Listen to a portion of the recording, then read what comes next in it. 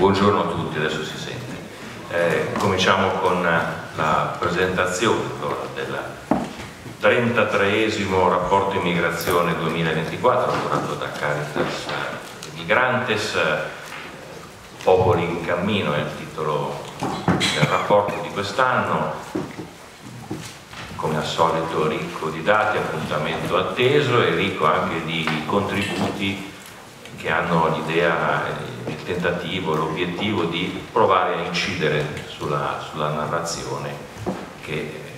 come viene poi detto nel rapporto, lo dico da, da operatore dei è una narrazione molto spesso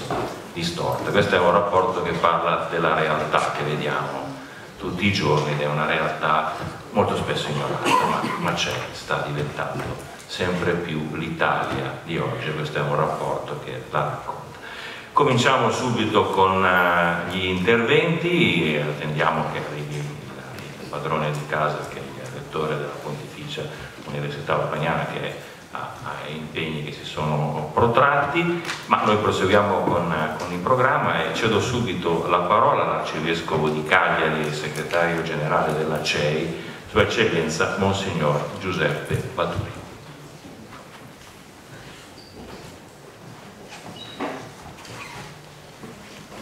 Grazie.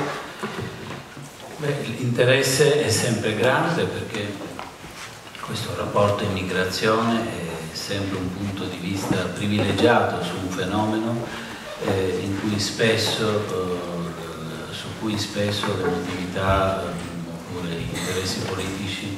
prevalgono sulla conoscenza della realtà. Il senso di un rapporto eh, non è risolvere la, la realtà eh,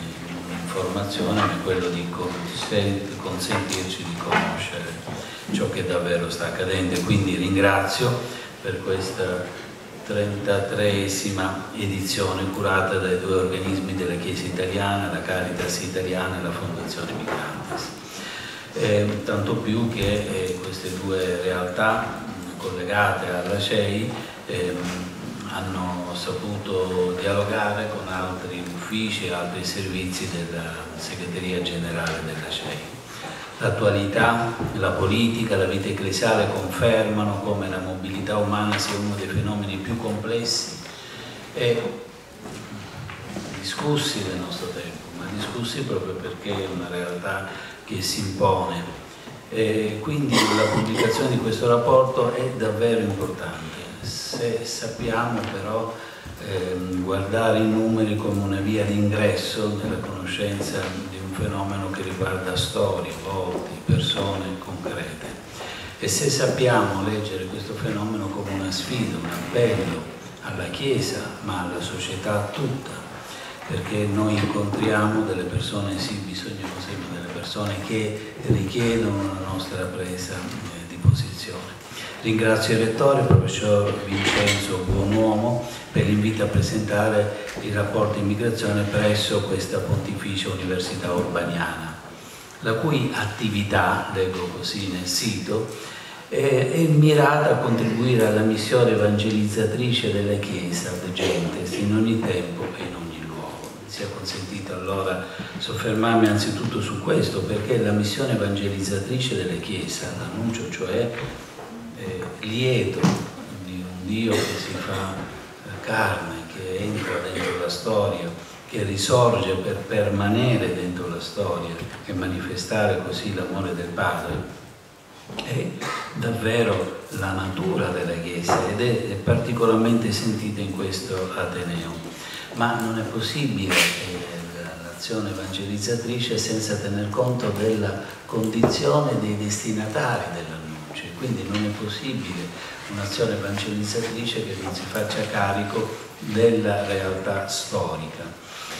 È un fenomeno, quello migratorio, che coinvolge la società dei territori di missione, ma anche il clero missionario, religioso e religiose delle giovani chiese, ma che riguarda le nostre chiese. Non a caso eh,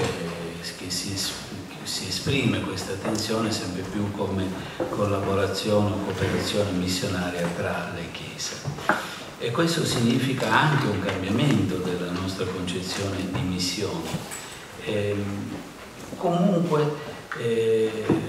vorrei soprattutto dire la necessità, come il Papa scrive nella Costituzione Apostolica Veritatis Gaudium circa le università e le facoltà ecclesiastiche, che la missione evangelizzatrice della Chiesa tenga conto sotto eh, la guida dello Spirito dei perenni, dei, di ciò che davvero accade, della, dei, dei segni dei tempi, delle diverse espressioni culturali, perché l'invito del Concilio Vaticano II resta validissimo. È necessario discernere i segni dei tempi perché l'annuncio del Vangelo possa essere adatto a ciascuna generazione, rispondente ai perenni interrogativi degli uomini sul senso della vita presente quella futura e sulle loro relazioni reciproche. Interrogarsi allora sul fenomeno migratorio appartiene eh, all'azione missionaria della Chiesa, alla sua attenzione inesauribile di annuncio del Vangelo. Un secondo aspetto vorrei sottolineare è il fatto che si svolga questa presentazione per la prima volta, penso, in questo Ateneo è che il processo di elaborazione del rapporto ha coinvolto tante realtà, l'università, gli insegnanti, ricercatori, le associazioni del terzo settore, ambienti ecclesiali in Italia e all'estero. Il risultato di questo processo è questo rapporto eh, in cui vengono presentati non solo problemi e ostacoli, ma storie, storie di coraggio e di speranza perché una vera conoscenza della realtà non può prescindere dalla conoscenza dello sviluppo dell'esistenza concreta di ciascun uomo situata in contesti particolari. Ci sono certamente difficoltà, mm, si propongono soluzioni e riflessioni, ma soprattutto si dà spazio alla testimonianza, alla testimonianza di uomini e donne che affrontando eh, percorso migratorio o il percorso di integrazione qui in Italia eh, comunque segnano una traiettoria del proprio destino. È un invito, cioè a superare il pregiudizio, a comprendere le dinamiche dell'integrazione a partire dalle storie degli uomini. Un terzo um, spunto vorrei offrire. Um, fatto che, che, questo rapporto abbia tenuto conto delle riflessioni delle università e si venga presentato in università mi fa ricordare un evento importante che ha visto coinvolta, anzi protagonista la CEI nel 2022 con la firma della Carta di Firenze. Lì si individuava, a proposito delle dinamiche di pace nel Mediterraneo, un privilegiato ambito di lavoro nella predisposizione di programmi educativi e in particolare dei programmi universitari comuni, rivolti particolarmente ai giovani del Mediterraneo per una migliore conoscenza reciproca delle proprie tradizioni e delle particolarità culturali di ciascun paese. In un momento in cui il Mediterraneo è di nuovo infiammato dalla potenza devastatrice della guerra, che non risparmia ospedali, non risparmia scuole, che vuole eh, ridurre tutto dentro una logica di potere, e ribadire l'esigenza di uno sforzo condiviso tra governi, tra sindaci, dentro le chiese, e istituzioni scolastiche universitarie, di, per un percorso educativo di conoscenza per i giovani è davvero fondamentale, perché pensare alla pace significa pensare all'educazione e significa pensare a ciò che nell'uomo è assolutamente libero, che è la coscienza. E una pace senza educazione, senza coscienza, ehm, ha corto respiro, il respiro di una pausa dentro un conflitto. Il Papa ha più volte ribadito che il mondo può cambiare, ma ha ribadito più volte che il cambiamento del mondo deve far perno sulla potenza trasformatrice dell'educazione, cioè significa guardare i giovani, pensare al futuro e parlare al cuore. Altre soluzioni bisogna cercarle, ma sono di corto respiro. Quello deve davvero importante è pensare alla potenza trasformatrice dell'educazione. Il fatto che io sia adesso dentro l'università mi sembra profetico. L'educazione infatti rende la persona più libera e responsabile e, e più capace di speranza. Noi non possiamo pensare di trasformare questo mondo senza immettere una giusta dose di speranza. Questo naturalmente significa, ed è il quarto punto, anche eh, ciò che noi facciamo e pensiamo è per l'uomo, è per la sua dignità, è per amore all'uomo. Mm, un amore all'uomo che deve prevalere su qualsiasi altro calcolo, per cui il tema dell'immigrazione deve continuamente saper rapportare le singole misure eh, di una nazione Europa con la necessità del rispetto della dignità delle persone. Il rispetto della dignità delle persone significa anche farsi carico dell'interezza dei bisogni di vita, che non sono solo bisogni quantitativi, ma bisogni di cultura, bisogno di speranza, bisogno di amicizia, bisogno di integrazione e come è stato detto dal Papa Marsiglia, di promozione, perché l'integrazione non è mai assimilazione se noi assimilassimo eh, persone provenienti da altre culture senza promuoverne la specifica peculiare eh, provenienza avremmo fatto una cosa non bella. E quindi il tema della dignità delle persone, il tema della promozione di queste presenze dentro l'Italia. A questo proposito poi eh, mi piace ricordare, questo è l'ultimo pensiero, non so se sono arrivato a quarto o cinque, vuole può recuperare, al tema dei quasi 900.000 ragazzi e ragazze di figli di immigrati che frequentano la scuola, penso che fra poco sentiremo dei numeri. Eh, e anche questo è eh, qualcosa che, che, sta molto a cuore alla CEI, alla Chiesa italiana, perché una vera integrazione attraverso il canale della cultura è straordinariamente importante perché realizza un vero incontro, non tra chi ha un bisogno e chi può eh, soddisfarlo, ma tra uomini, tra, tra, uomini ciascuno dei quali è portatore di un proprio patrimonio nell'incontro con l'altro uomo e l'altro patrimonio di cui esso è portatore può creare qualcosa di nuovo, può creare qualcosa di nuovo e buono per tutti. E, e, io vengo da una terra, la Sicilia, non sto in un'altra terra che è la Sardegna, il cui patrimonio culturale nasce dall'incontro tra patrimoni, lingue, per cui nel, nel mio, nella mia lingua, nella lingua di mia mamma ci sono parole arabe, ci sono parole francesi, spagnole, eh, mia mamma raccontava novelle che adesso so riconoscere essere eh, quante arabe, alcune greche, Ebbene, questo significa la cultura, che non è l'accademia, ma è la possibilità di condividere quel patrimonio che rende l'uomo uomo e un, è, un po' diverso da questo regno. Questo però eh, immette anche un discorso sulla cittadinanza cosiddetta. Cos'è la cittadinanza? Anche questo è un tema molto caro alla ha fatto motivo de, della riflessione a Firenze 2022 perché cittadinanza significa da una parte il dovere di stare dentro una comunità contribuendo al suo sviluppo e al bene comune. Il tema della cittadinanza è il tema di un nucleo di responsabilità chiaramente identificabile e dall'altra parte un nucleo di diritti che rende agibile e che rende efficace eh, la tutela della dignità di ogni uomo. E voi sapete che la CEI da tanto tempo, da, da molti anni, insomma, tanti, diversi presidenti fa, addirittura aveva cominciato già ad augurarsi ehm, la predisposizione di percorsi di, di, concessione di cittadinanza a partire dalla partecipazione a percorsi scolastici, cosiddetto Ius Scuole, che possono far sì che tema dell'integrazione avvenga in uno col tema dell'incontro eh, dentro un percorso di crescita umana cultura, cioè scuola, cittadinanza, sono davvero sistemi di,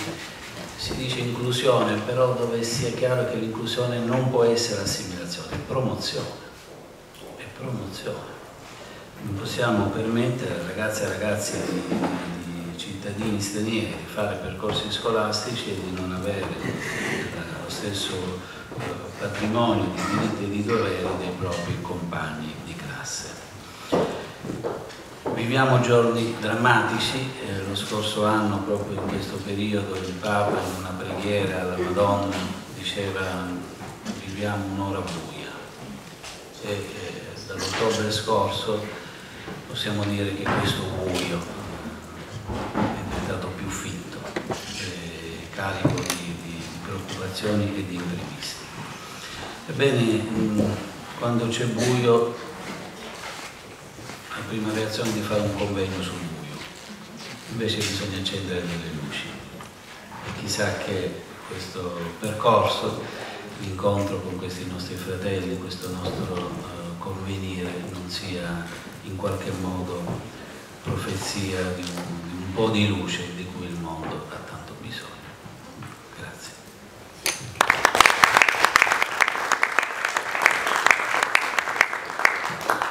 Grazie, dopo questa introduzione di Monsignor Giuseppe Batturi, segretario generale della CEI, partiamo con la presentazione del rapporto, è già pronta Manuela De Marco di Caritas Italiana che ci parlerà dell'immigrazione in Italia, numeri, sfide e prospettive, aiutata credo anche dalle slide. Manuela. Sì, grazie, grazie Paolo, benvenuti, bentrovati a, a tanti di voi. E... Sì, mi, mi, baserò un po' su questa slide riassuntiva di tutti questi dati che emergono dal rapporto immigrazione che eh, l'intervento di Monsignor Saturi mi ha dato anche la possibilità di agganciarmi effettivamente a dei messaggi un po' positivi che questo rapporto lancia un po' anche in controtendenza rispetto alla, agli anni scorsi, abbiamo notato dei segnali di ripresa incoraggianti anche delle possibili eh, piste di lavoro e di impegno in questo ambito, eh, favorite anche dalle indagini eh, inedite che abbiamo lanciato un po' attraverso nostra, le nostre reti territoriali di Caritas e Migrantes per esaminare meglio alcuni aspetti che, che rimangono diciamo, poco eh, narrati eh, dai dati stessi e di cui eh, velocemente poi vi, vi, parlerò. Avremo poi la possibilità anche di sentire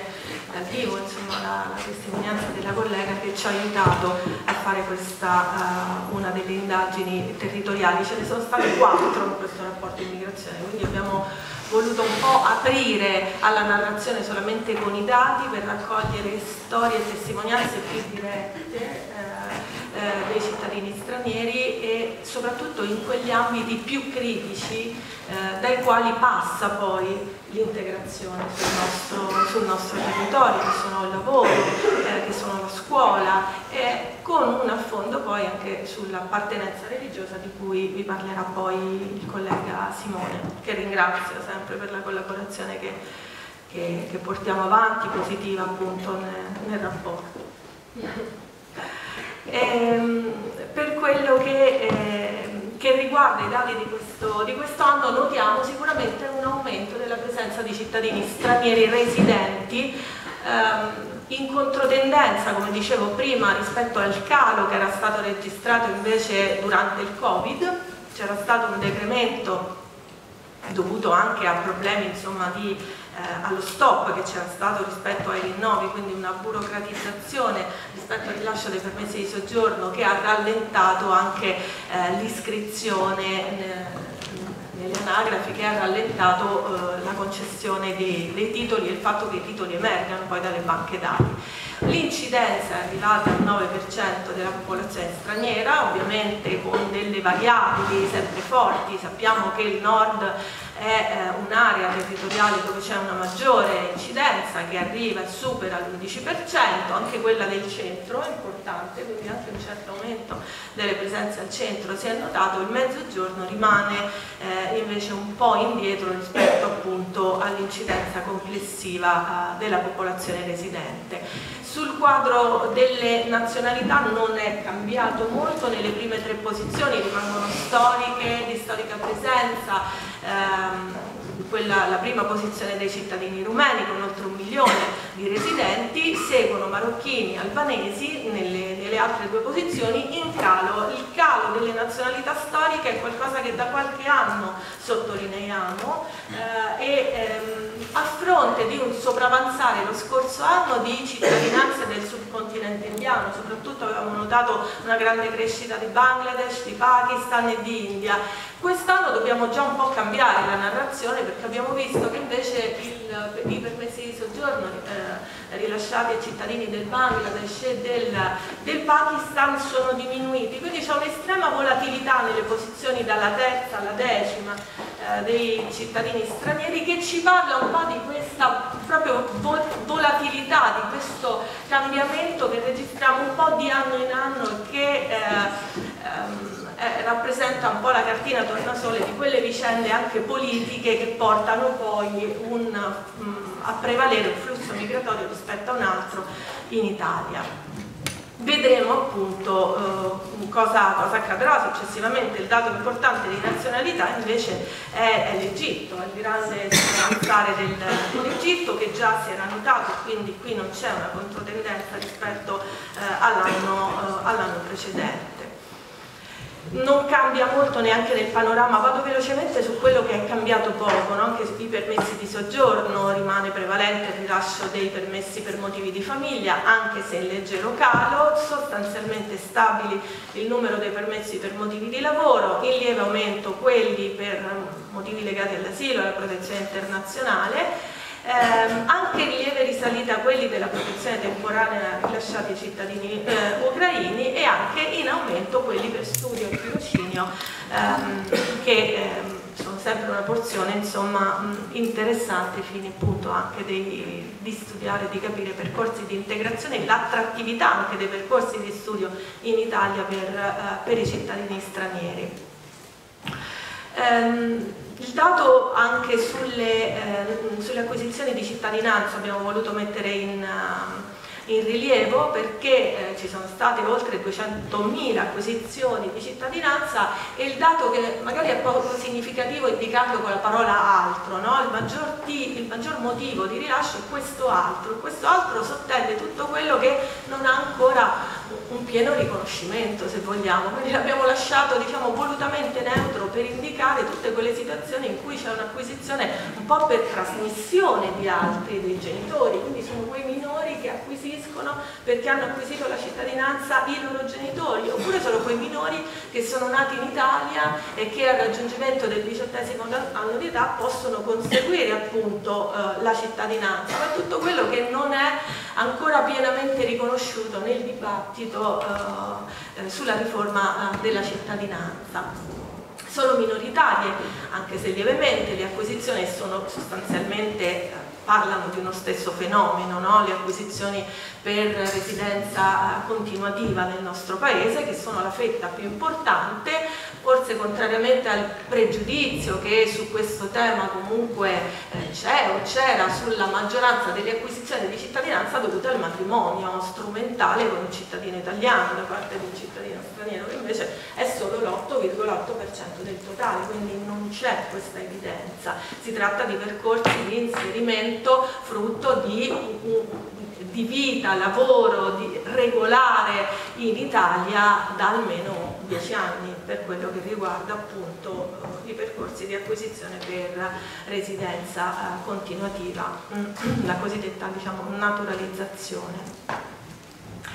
E, ehm, il dato che abbiamo messo in evidenza, abbiamo visto come segno di speranza appunto in, in questo rapporto, um, è la vivacità occupazionale, la crescita dell'occupazione che ha riguardato i cittadini stranieri lo scorso anno. Abbiamo avuto, eh, e poi eh, ringrazio anche, colgo l'occasione per ringraziare anche il Ministero del Lavoro che fa un grandissimo lavoro di raccolta dati, un bellissimo rapporto che per noi è una fonte diciamo, di dati compiuta, completa, fotografa veramente diversi aspetti e, e, e, ci dà anche da quest'anno dove è stato poi lanciato un portale che permette di fare delle, ehm, anche degli incroci ehm, nuovi, è un portale interattivo in cui si, si inseriscono appunto delle variabili conoscitive e vengono fuori dei dati molto molto eh, interessanti. Noi abbiamo, quindi era, potenzialmente si poteva fare tantissimo grazie alla quantità di dati che vengono raccolti, noi ci siamo soffermati sulla, eh, sulle assunzioni dei cittadini stranieri aumentate del 4,7%, eh, aumentate ehm, e, e, e il dato anche che emerge è che pur se continuano a rimanere prevalenti settori di impiego eh, come quello del, del, lavoro domestico che assomma più del 10% del totale oppure del settore turistico alberghiero che arriva al 6,5% o delle costruzioni in realtà eh, la cosa e nonostante continui a essere eh, prevalente l'assunzione con la qualifica di operaio per i cittadini stranieri qualcosa si sta muovendo cioè si stanno muovendo le richieste dei datori di lavoro verso profili sempre più specializzati. Ehm, le, la stima, le rilevazioni che fa Union Camere di richiesta eh, delle aziende di assunzione di profili parla sempre di più di specializzazioni eh, molto puntuali per ogni settore e di un fabbisogno quindi aumentato che ha portato in quattro anni la richiesta di assunzione di lavoratori stranieri a crescere del 20% è un dato significativo, con delle, degli aumenti ancora più importanti per alcuni settori. Nel settore dei servizi la richiesta di assunzioni è aumentata quasi fino al 60% e nell'industria di un terzo. Quindi eh, e mm, un altro dato per noi significativo che abbiamo posto in rilievo è come il 35% delle aziende che hanno assunto lo scorso anno hanno assunto almeno un cittadino straniero. Quindi c'è un grande dinamismo, in qualche modo una richiesta del mercato del lavoro che fa il matching con la richiesta di profili sempre più specializzati. Questo ci aiuta a dire in realtà dovremmo provare ad andare oltre a una richiesta di, eh, a, ritenere il mercato del lavoro ehm, dei cittadini stranieri un mercato solo a basso profilo, c'è una richiesta invece di miglioramento, di miglioramento del profilo professionale che quindi nelle, eh, dovrebbe essere assolutamente accolta nell'ambito della formazione professionale per creare diciamo, un matching sempre più virtuoso ed efficace sia per il lavoratore che per il datore di lavoro. Quindi c'è spazio di intervento sicuramente eh, in, questo, in, questo, ambito. Permangono ovviamente delle, delle criticità, vado anche, anche, su queste, permangono le criticità di assunzioni che sono prevalentemente a tempo determinato che eh, e eh, come dicevo prima assunzioni che riguardano sempre nel 70% soprattutto la qualifica di impiegato, eh, di operaio, però è cresciuta anche la porzione di richiesta di impiegati, impiegati in quei settori a prevalente inserimento. Quindi se parliamo ad esempio dei trasporti, che è il quarto settore di prevalente assunzione, lì si chiedono anche gli impiegati della logistica, quindi una serie di settori anche in crescita dal punto di vista della qualifica professionale. Questo è un dato diciamo, che merita tutta una costruzione eh, a parte e che ovviamente probabilmente dovrebbe essere raccolto anche dal mondo della scuola, proprio per riagganciarmi a quello che diceva Monsignor Baturi, è importante sostenere questi percorsi di formazione e quindi consentire anche ai giovani di finire il loro percorso scolastico. Invece quello che notiamo dai dati sulla scuola è eh, purtroppo ancora un problema di, eh, di, abbandono scolastico importante perché il 35% mediamente dei minori eh, iscritti nelle scuole italiane abbandona precocemente i percorsi di istruzione eh, oltre che a um, e, e contassi che poi in alcune nazionalità superano anche il 50% nel caso del Bangladesh, dello Sri Lanka, quindi sono percorsi sicuramente da supportare perché se è vero che le assunzioni di cittadini stranieri riguardano più che gli italiani assunzioni di lavoratori giovani, il 40% di questi lavoratori neoassunti è tra i 15 e i 29 anni di età, però quel 15 di aggancio della professione un po' ci, ci interroga e preoccupa in qualche modo, proprio perché qualche, eh, per sostenere poi la situazione difficile di molte famiglie straniere c'è un abbandono che è collegato appunto anche a questo fenomeno e non fa finire il ciclo di istruzione, eh, il ciclo di istruzione eh, ai minori. E, ehm, e, su questo abbiamo un po' anche eh, rinnovato quest'anno un'indagine che avevamo fatto delle ASL, dei territori per il supporto proprio del disagio psicologico eh, in queste situazioni, con un grande anche lì potenziale di intervento, di aumento proprio del, del servizio in queste situazioni. Quindi ci sono delle piste, delle piste um,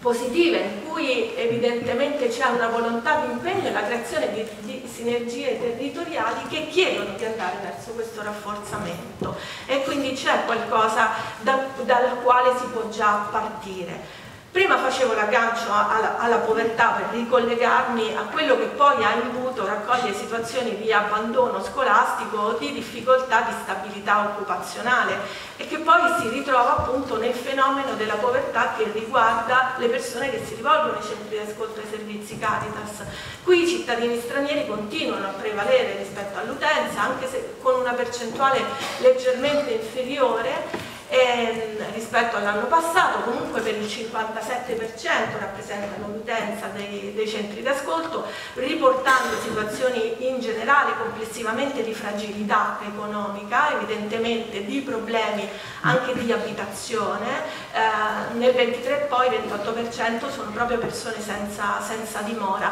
ma sono persone anche che lavorano, nel 28% parliamo di, dei casi di working poor per i cittadini, eh, per i cittadini stranieri, che però non vengono supportati dalle misure di contrasto alla povertà varate dalla politica, perché eh, abbiamo potuto riportare il dato che per l'allora reddito di cittadinanza si parlava di 7,2% di famiglie straniere fruitrici di questo sostegno per la povertà a fronte del 27,2% di quelle italiane per i rigidi requisiti richiesti per l'accesso a un beneficio invece appunto eh, che dovrebbe andare a cannonierare quella situazione drammatica appunto della povertà che riguarda uh, questi che riguarda appunto così diffusamente eh, la nostra società. Quindi vado velocemente in conclusione, lascio la parola a Simone per il resto dei dati per dire ci sono sicuramente luci e ombre, abbiamo voluto essere positivi raccogliendo una serie di dati che anche le nostre indagini ci hanno, eh, ci hanno aiutato a supportare, ce n'è una anche molto interessante sui libri, come raccontano l'immigrazione i libri di di testo scolastici, anche qua c'è diciamo, un, un, linguaggio molto ehm, se vogliamo o datato o pietistico o incompleto che rappresenta il fenomeno, quindi ripartire dall'istruzione, dall'educazione significherebbe anche poter ripartire e aiutare diciamo, una riscrittura dei libri di testo che tenga conto delle complessità burocratiche dell'immigrazione, non si parla nei libri di testo di quanto sia difficile soggiornare nel nostro paese, quindi avviare dei percorsi di integrazione positivi nel nostro paese, no? questa è una complessità che va assolutamente trasmessa trasmessa appunto a livello sociale, come non si parla del, del ruolo di supporto che da altri attori viene portato per sostenere il fenomeno e questa è un'altra carenza appunto che abbiamo rilevato sulla sull'istruzione. Sulla povertà anche abbiamo lanciato un'indagine per stabilire quali sono, per indagare quali sono le strategie di resilienza che in questo quadro un po' Eh, nelle ombre di questo quadro spinge i cittadini stranieri a studiare delle alternative per, per, garantire il sostentamento a sé e alla propria famiglia, ma poi lasceremo la parola a chi ha seguito insomma, questa, questa, importante rilevazione, a Elena Carletti e, e, e, quindi lascio la parola a Simone con questi segni che comunque di speranza si colgono da queste discussioni. Grazie.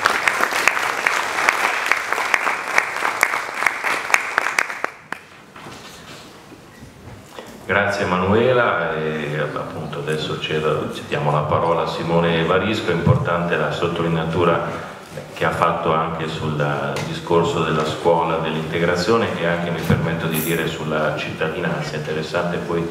vedere ai primi di novembre quanti magari di questi neocittadini eh, poi emigrano a loro volta, perché questo è un altro tema molto, molto interessante. Simone Varisco parla invece della cultura, certamente, che è un aspetto molto importante anche di questo rapporto, e anche di come i nuovi arrivati stanno cambiando le comunità religiose in Europa.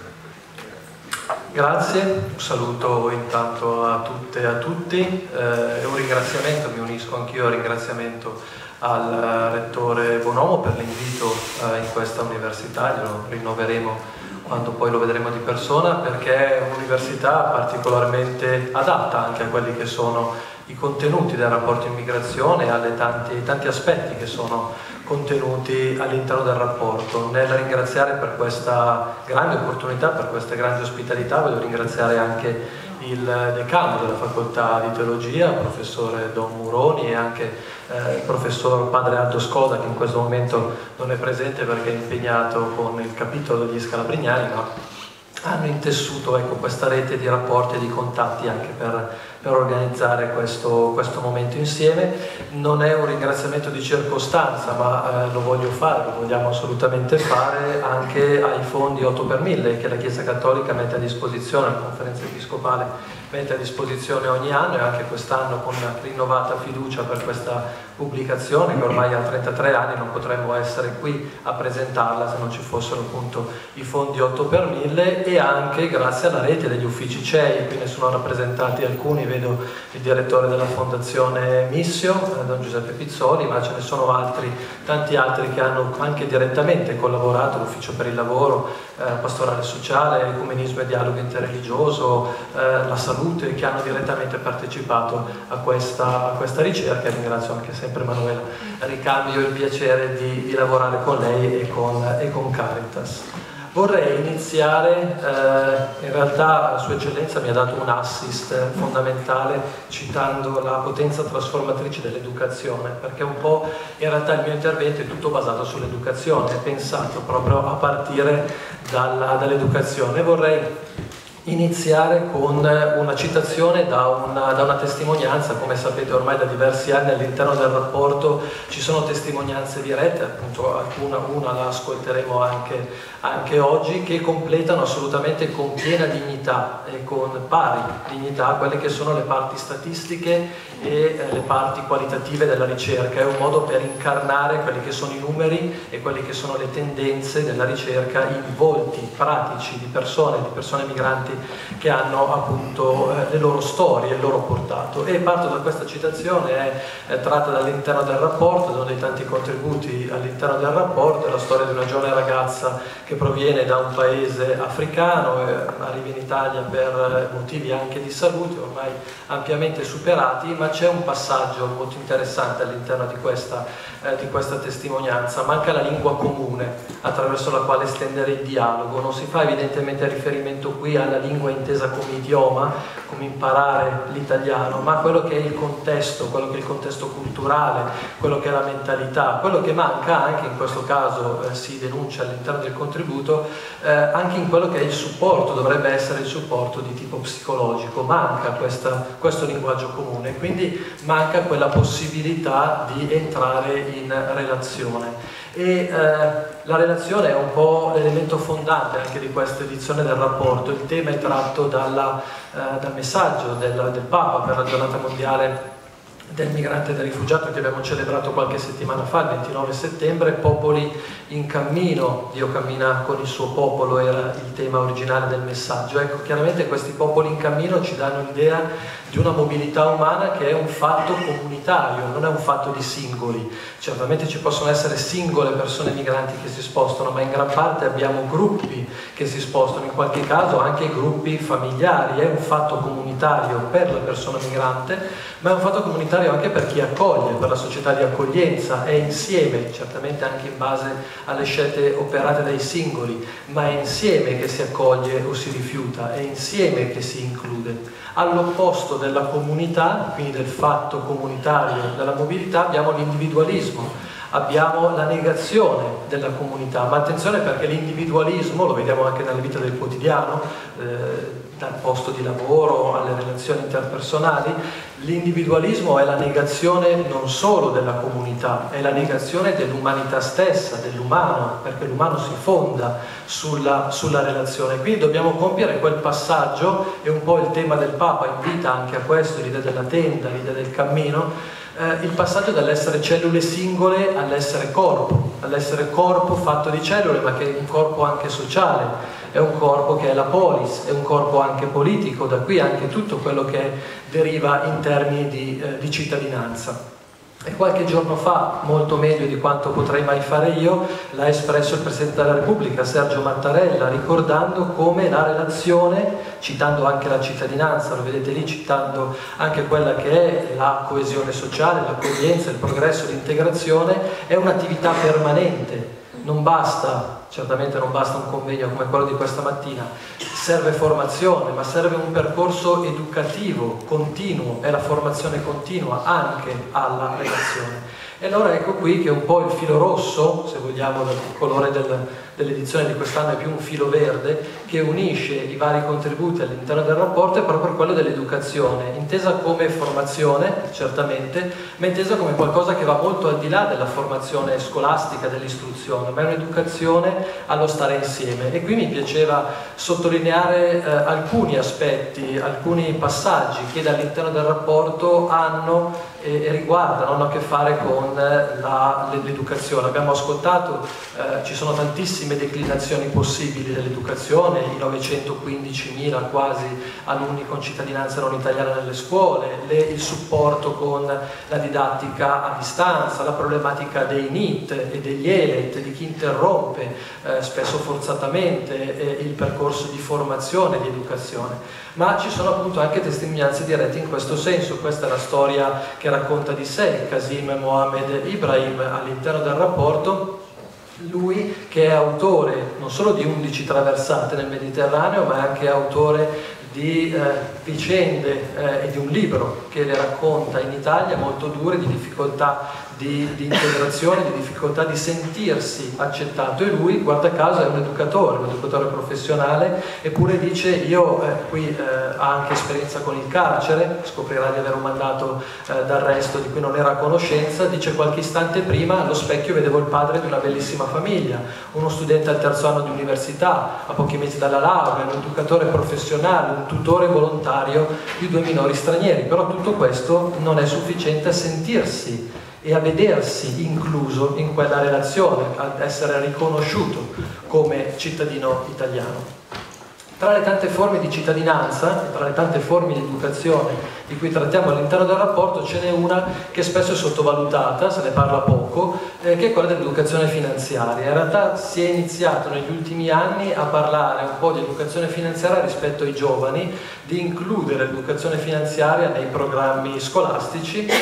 per formare appunto giovani ad una gestione corretta del proprio patrimonio. In realtà si, se ne parla molto poco in collegamento con le persone migranti che pure al pari e forse più dei cittadini italiani hanno necessità di questo tipo di educazione perché patiscono, eh, e poi lo sentiremo eh, negli interventi che seguiranno rispetto proprio alle difficoltà economiche, patiscono situazioni di indebitamento, patiscono situazioni di reato, di truffa, eh, di frodi anche dal punto di vista eh, finanziario e hanno necessità eh, talvolta di rivolgersi a quelli che sono degli usurai, quindi creando anche situazioni, aggravando ulteriormente le, le situazioni. Quindi l'educazione finanziaria però in che senso? Nel senso certamente del migrant banking, di quello che è inteso appunto come eh, dei prodotti finanziari o comunque una formazione finanziaria specificamente rivolta dalle banche alle persone migranti, ma in che senso? Soltanto nel senso di prodotti finanziari? Speriamo di no, in realtà molto di più, nel dare una cittadinanza economica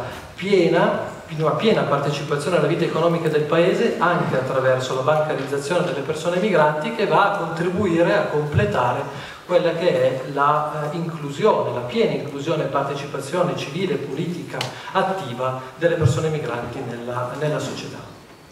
C'è poi un capitolo all'interno del rapporto che è eh, molto votato agli aspetti eh, culturali e agli aspetti educativi. Eh, ricorderete, se avete avuto la bontà di leggere anche il rapporto dello scorso anno, che abbiamo scelto di introdurre un capitolo specificamente dedicato alla cultura. L'anno scorso ci eravamo occupati del cinema, del cinema dei migranti e sui migranti, quest'anno abbiamo scelto il tema della musica una musica però non casuale, ma una musica che in realtà è più una cultura, la cultura hip hop, va, va abbastanza di moda tra, tra, i giovani, ma in realtà ci siamo, non solo, speriamo, eh, ci siamo accorti che in realtà eh, è un veicolo eh, buono, ottimo, questo ce lo dicono gli studi, all'interno del rapporto trovate un po' una panoramica di quella che è la musica migrante in Italia, con un particolare, una particolare attenzione alla cultura hip hop come stile di vita, anche non solo come eh, genere musicale, fatta dalla eh, Direzione Generale dell'Immigrazione del Ministero del Lavoro e anche all'Università degli Studi di Milano, forse c'è anche l'autore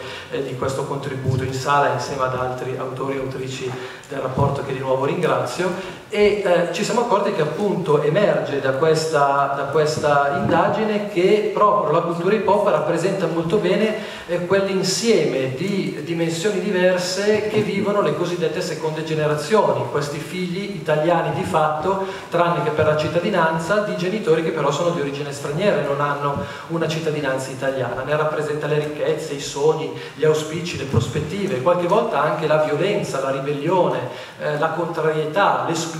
da questa società e lo abbiamo fatto di nuovo attraverso degli studi di tipo quantitativo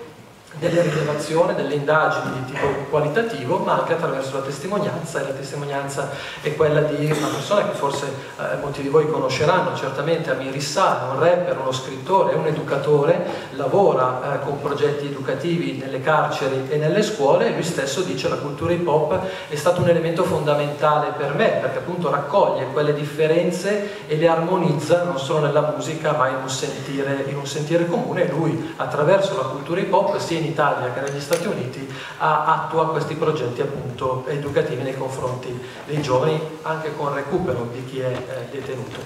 Ultima delle testimonianze eh, che eh, vi ricordo per, che vi sottolineo dal, dal rapporto immigrazione, sempre attinenti all'educazione, è quella molto particolare di un missionario, di un missionario clarettiano, padre Lambert Ochere, che è stato missionario ad Gentes, in terra di missione nella Repubblica Dominicana, è stato missionario a Cuba ed è oggi missionario in terra di missione a Roma, perché continua ad essere missionario a Roma e dice eh, mi ha educato di più la strada, cioè la cultura in realtà che incontro nelle diverse aree di missione, più ancora dice del, del seminario, lo spirito che lui ricorda è quello dell'Ubuntu, in lingua bantu, è il sentirsi accolti, il, il provare appunto a trovare una, una comunità, costruire una comunità. E questo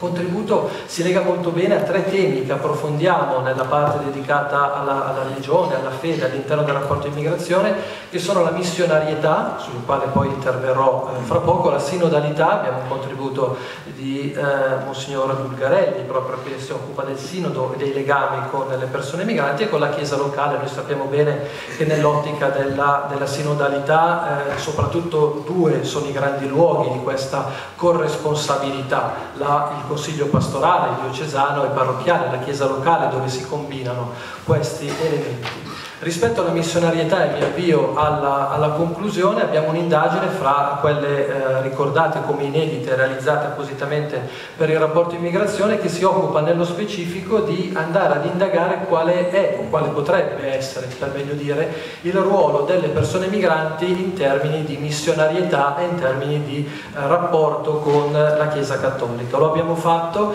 andando ad indagare cinque contesti europei di forte secolarizzazione, quali sono quelli quelli del nord Europa, Svezia, Norvegia, Islanda, Germania, ma anche la Grecia e ovviamente confrontandoli poi con l'Italia per andare ad indagare eh, qual è la situazione e quale ruolo hanno le persone migranti rispetto alla missionarietà. Forse la missionarietà è l'elemento, dirlo in questa università eh, credo sia particolarmente importante, non è soltanto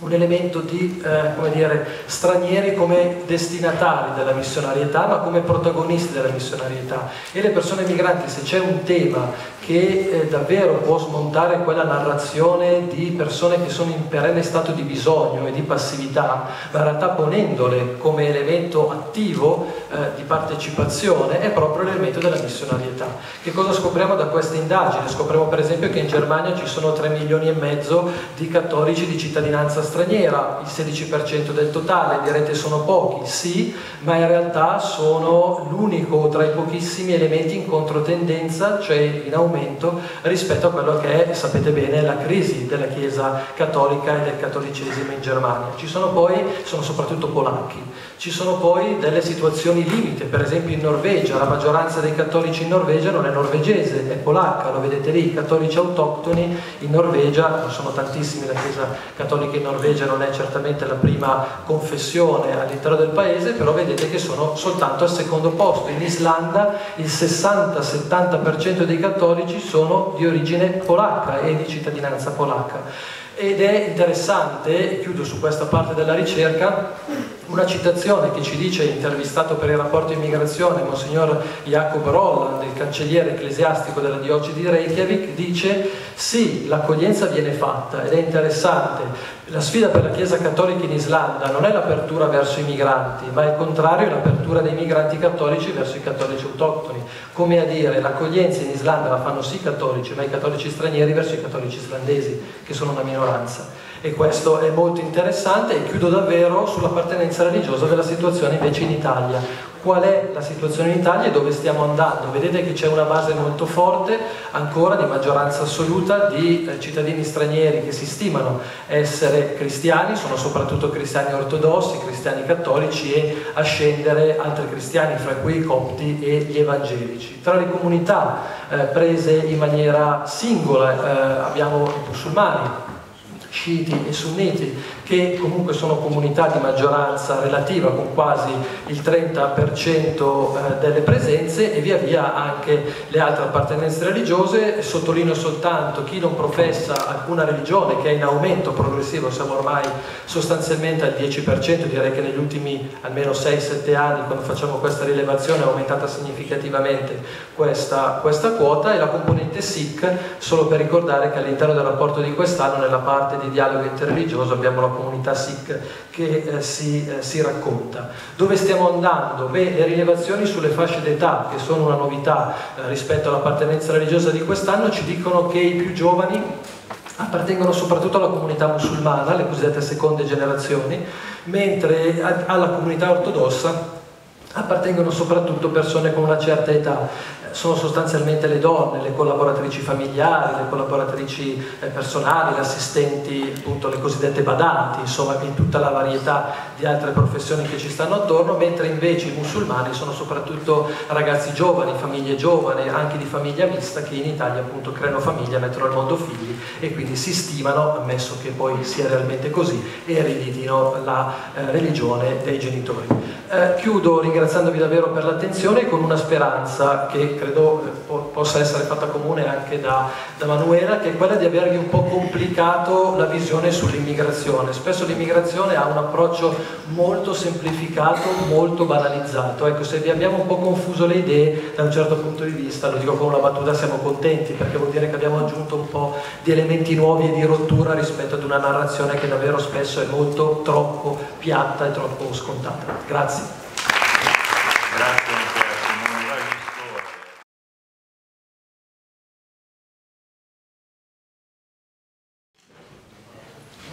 Dicevo al mio posto, così può salutare perché intanto invitiamo al, al tavolo i due relatori, intanto invitiamo subito Elena Carletti.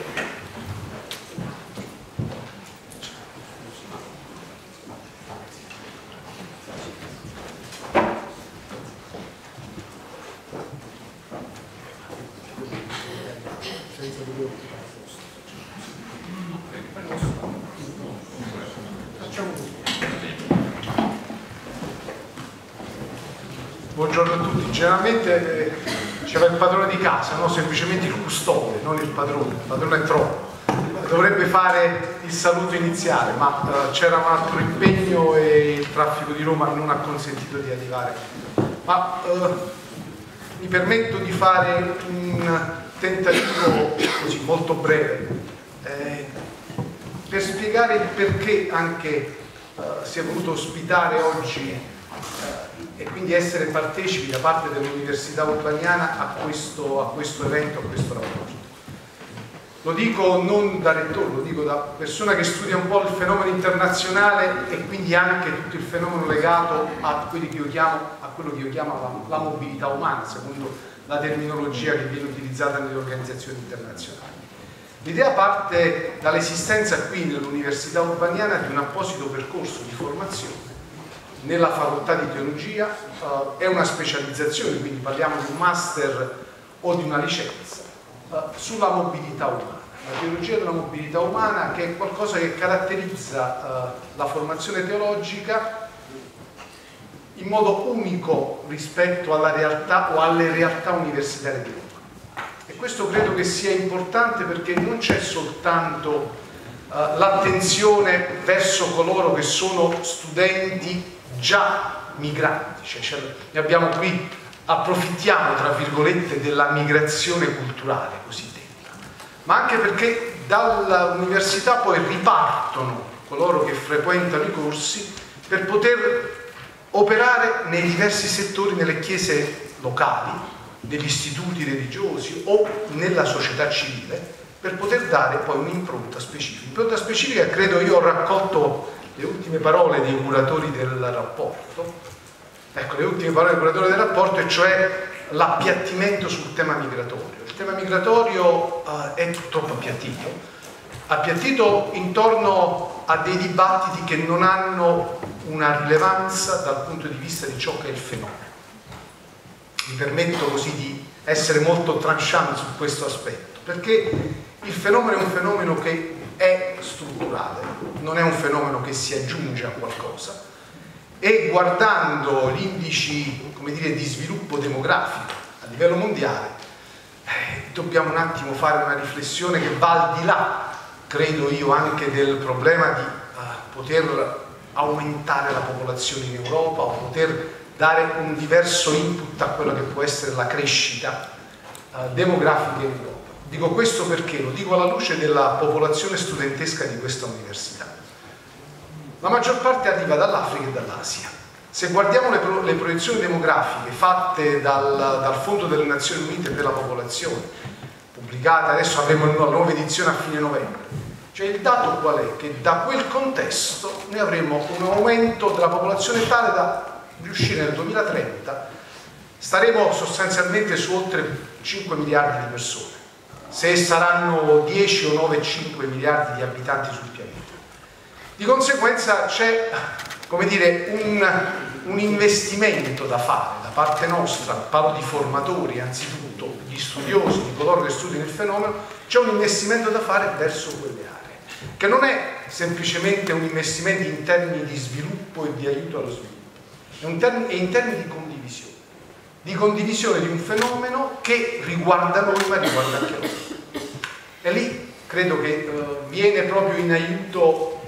il tipo di formazione che viene dato qui all'Università Europea. Uh, non si tratta soltanto della lettura teologica del dato, ma di una lettura a cui concorrono anche le altre discipline che poi per il pensiero teologico diventano essenziali. Questo così semplicemente è brevemente un po' quello che quindi grazie eccellenza, grazie a Caritas Internazionale, grazie alla Fondazione Migrantes per questo, grazie ai curatori del rapporto perché per noi era importante poter dire, eh, creare questa sinergia che spero possa, possa continuare eh, anzitutto nel dare, visto che gli studenti stanno su, gli studenti hanno preso tutta una copia del rapporto eh, ma la copia del rapporto non va presa semplicemente per mettere nel, nello scaffale insieme a tanti libri, eh, perché potrebbe essere uno strumento e potremmo, cioè il decano, potremmo organizzare un seminario magari nel secondo semestre in cui facciamo una riflessione sul rapporto, perché anche gli studenti dell'Urbaniana possono dare il loro apporto a questa riflessione. Grazie ancora.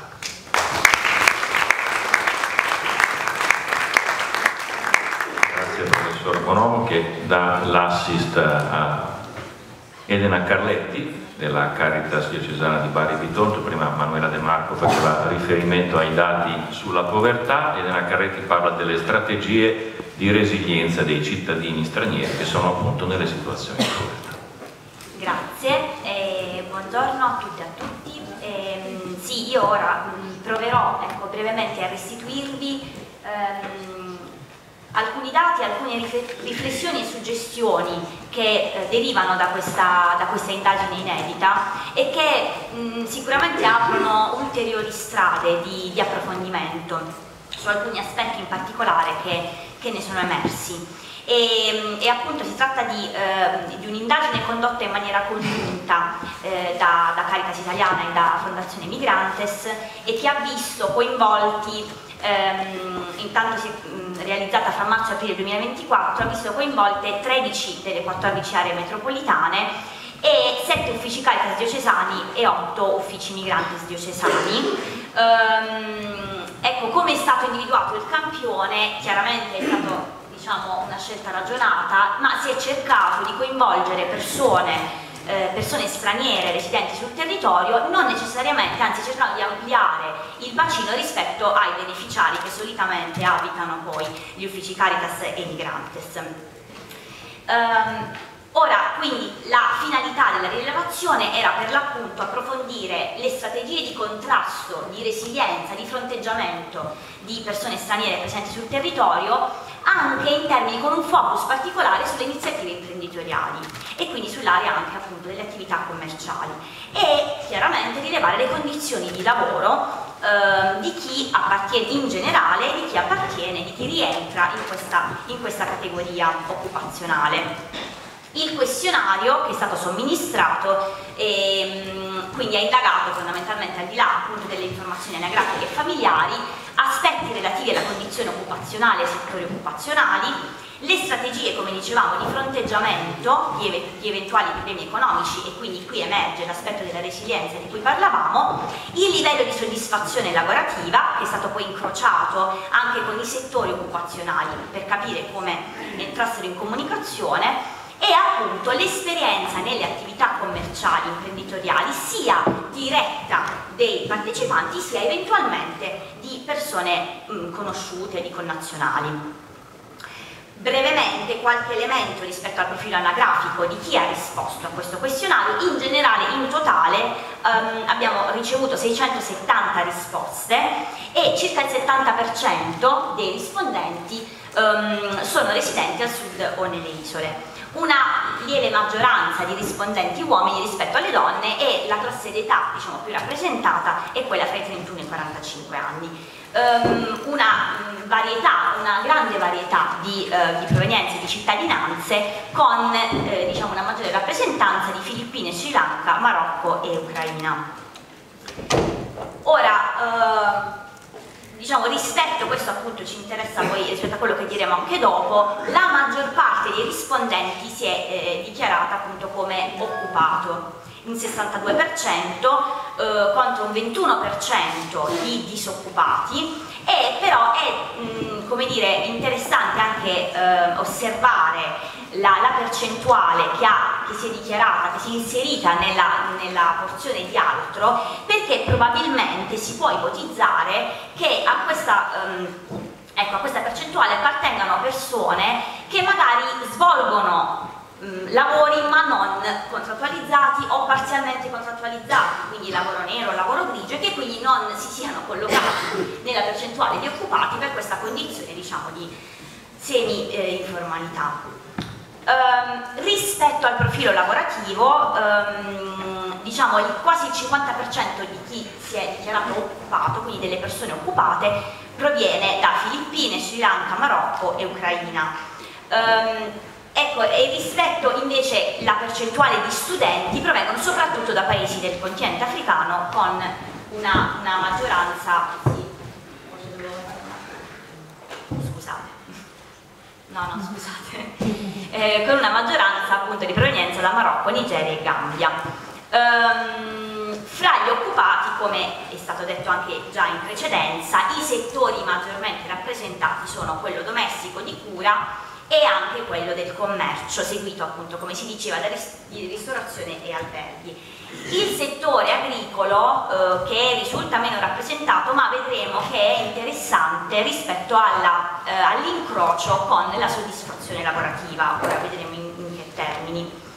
La soddisfazione lavorativa è stata indagata sulla base di queste quattro dimensioni. Cosa possiamo dire rispetto a questo? Ehm, soprattutto nell'incrocio con i settori occupazionali. Allora, in maniera abbastanza trasversale si è rilevato una, si è rilevato, diciamo, eh, una bassa soddisfazione rispetto eh, sicuramente a spostamenti e turni di lavoro e alla regolarità contrattuale che attraversa, attraversa un po' tutti i settori lavorativi ehm, a cui afferiscono i rispondenti, mentre l'aspetto delle relazioni umane risulta, ecco, registra un'alta, eh, un'alta soddisfazione, tranne per l'appunto nel settore agricolo, che rispetto a tutti gli altri diciamo, registra delle, dei livelli bassi in tutti gli ambiti, ma anche in quello delle relazioni umane. Ovviamente questo diciamo, anche banalmente ci fa pensare alle modalità con cui si instaurano i rapporti di lavoro, non sempre ma spesso nel settore agricolo, che spesso sono improntati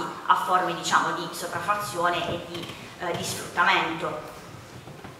rispetto ecco, al focus di cui parlavamo, quindi al lavoro in, in negozio, um, dei rispondenti direttamente impiegati in lavori in negozio sono risultati solo il 10%, ma c'è stata una restituzione anche rispetto a conoscenze o anche di, di connazionali. Più di due terzi di questo 10% sono uomini e lavorano in, nel settore alimentare, quindi negozi di alimentari la maggior parte, il 75%, dichiara di lavorare come dipendente, mentre in 14 eh, hanno dichiarato di essere proprio titolari degli esercizi commerciali. Un aspetto interessante che eh, ritorna rispetto alle strategie di resilienza è il fatto che ehm, la, poco meno della metà, quindi una buona parte di, eh, del, di questo 10%, ha dichiarato di avere con il titolare dell'esercizio commerciale presso cui lavora un rapporto familiare o di parentela o di amicizia. Questo ci è sembrato interessante perché si ricollega all'aspetto della, della, resilienza e al ruolo delle reti informali ehm, rispetto alle strategie di fronteggiamento di situazioni diciamo, di vulnerabilità o di povertà ehm, che ora che vedremo insomma, fra, fra pochissimo e emerge rispetto alla soddisfazione della, mh, lavorativa chi, la, di chi opera, di chi lavora, di chi è impiegato all'interno dei negozi, che tranne sempre per la dimensione delle relazioni umane le, le valutazioni sono, ecco, le, sono basse e soprattutto qualcuno ha dichiarato di conoscere persone che vivono nel negozio dove anche lavorano, è una realtà che conosciamo, ecco questo è un aspetto che per esempio, anche se è molto difficile sicuramente da indagare anche da un punto di vista qualitativo, però ecco, si potrebbe sicuramente approfondire. Bene, arriviamo alla conclusione con le strategie di resilienza. Innanzitutto da sottolineare che non tutti i rispondenti si sono dichiarati, cioè hanno dichiarato di aver avuto un momento di necessità, quindi 236 rispondenti, un terzo del totale ha dichiarato di non aver avuto bisogno di aiuto da parte di, nessuno per problemi economici. Chi però ha risposto ha dato molta rilevanza nella richiesta di aiuto in caso di problemi economici ad amici, conoscenti, familiari e alle realtà Caritas e Migrantes con cui sono entrati in contatto. Quindi siamo in una rete informale. Perché? Perché gli altri attori che erano ricompresi diciamo, nell'ambito diciamo, del questionario, quindi il comune, servizi sociali, banche, sindacati, ecco, hanno, hanno avuto percentuali molto, molto più basse. Ora, chiaramente al netto del fatto che alcune di queste persone sono entrate in contatto col questionario tramite le realtà Caritas e Migrantes, però sicuramente l'aspetto delle reti informali è prominente. Quindi cosa possiamo dire come suggestioni finali e conclusive? Che si rileva rispetto al campione incontrato un modello di supporto familistico informale eh, e quindi le reti informali svolgono un ruolo per le persone per i rispondenti ancora importante come ammortizzatori sociali. D'altro tanto però se da un lato queste reti sono importanti, sono un supporto emotivo, economico e sociale, il rischio è che ecco, si stringano intorno alle persone straniere, in quanto reti molto spesso di connazionali, e quindi impediscano invece un'apertura più capillare sul territorio dal punto di vista economico, lavorativo e sociale. Quindi sicuramente perpetuando appunto situazioni che possono essere già tendenzialmente vulnerabili. Quindi ecco, questo aspetto sicuramente apre altre strade di approfondimento. Grazie mille.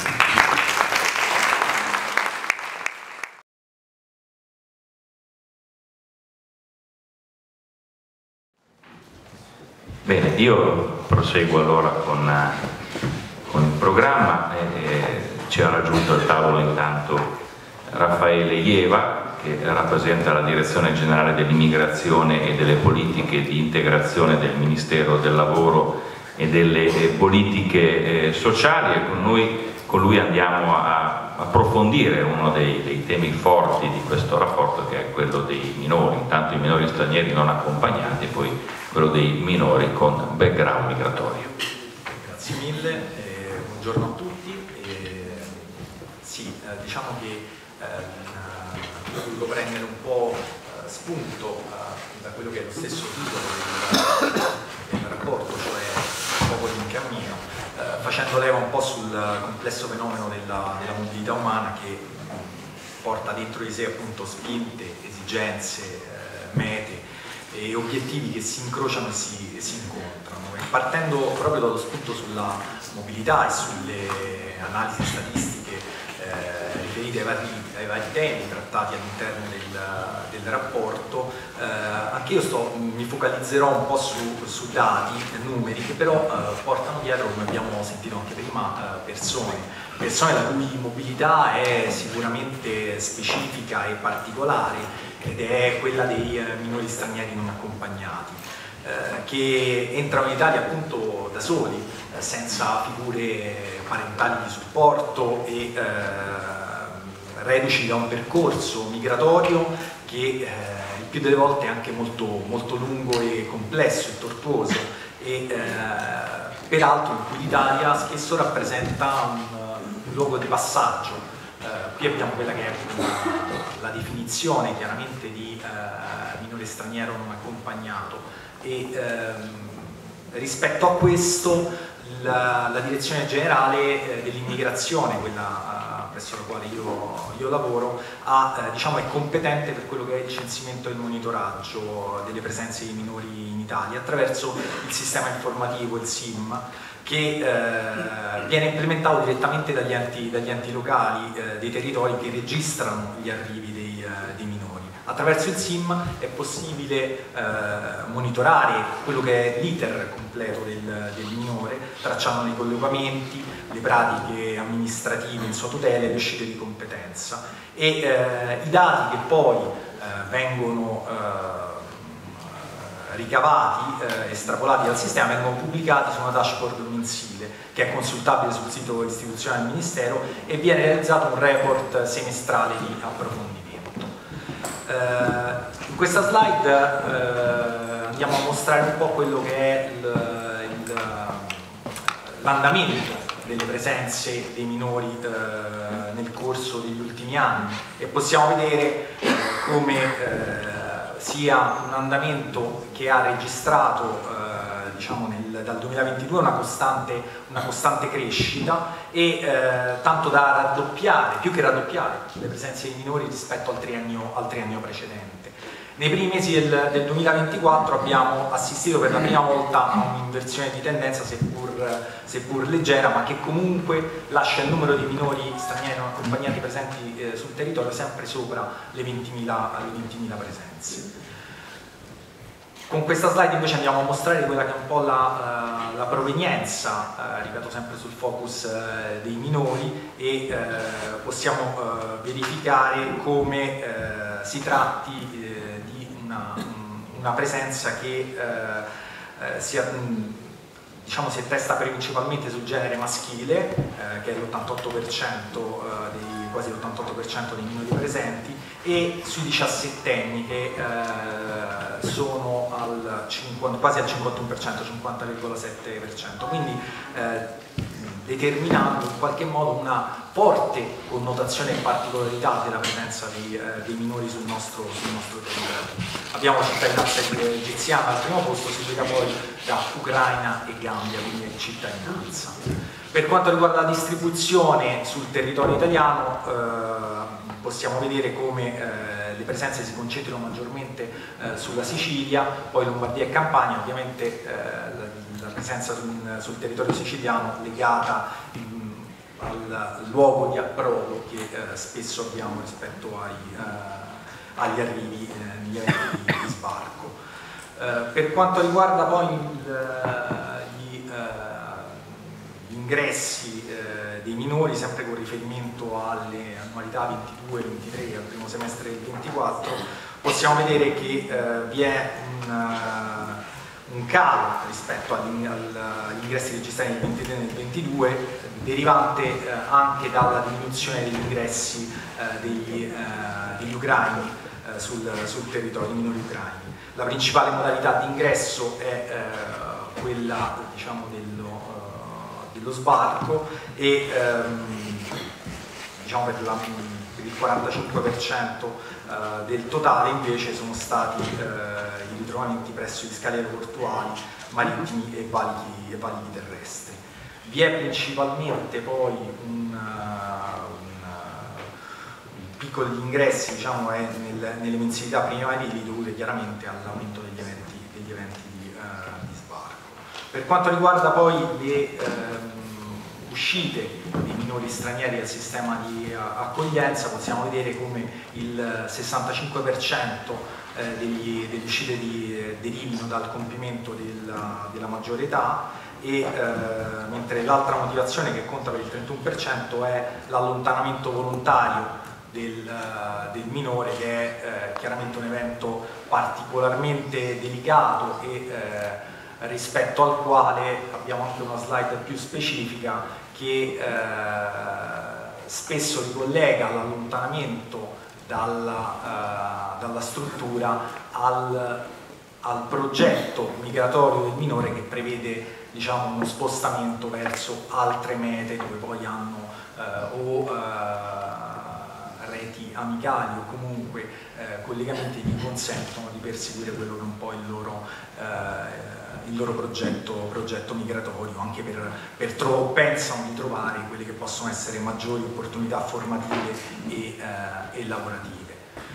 Un focus ovviamente su quelli che sono i minori stranieri accompagnati provenienti dal, dall'Ucraina, eh, rispetto ai quali eh, è eh, evidente che si tratta di un fenomeno con delle proprie peculiarità, eh, nelle quali eh, diciamo, molto diversificate rispetto a tutte le altre perché possiamo vedere che comunque sia c'è una componente importante di minori di, eh, di genere eh, femminile, abbiamo inoltre un'età un media bassa differentemente da quanto avevamo notato prima, eh, quindi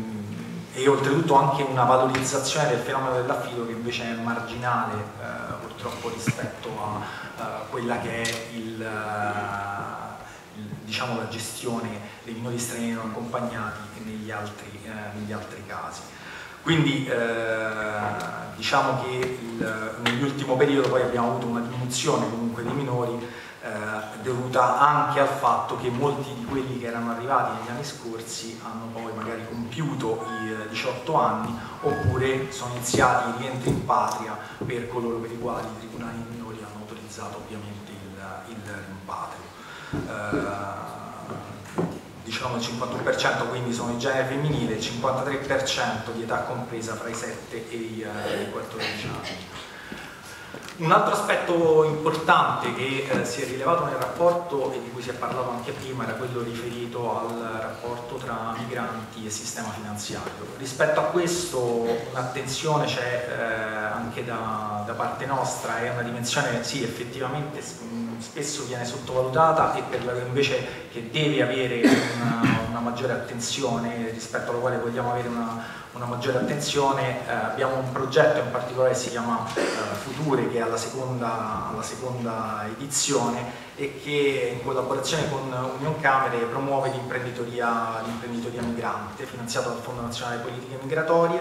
e eh, che eh, favorisce quello che è l'accesso ai migranti alle Camere di Commercio tramite servizi e eh, strutture eh, dedicate e eh, promuove la nascita di nuove imprese eh, predisponendo percorsi di orientamento, formazione e affiancamento, li supporta per l'accesso al credito e eh, diffonde strumenti di conoscenza che sono importanti appunto per i migranti per poter avere accesso a quelle che sono le risorse cui possono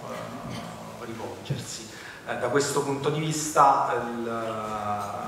quindi abbiamo anche una, tra i vari, oltre a diversi rapporti, eh, a breve ne uscirà un altro sulla, eh, su quelle che sono le imprese e eh, l'inclusione finanziaria, di, lo stato di inclusione finanziaria dei migranti, abbiamo anche una dashboard che eh,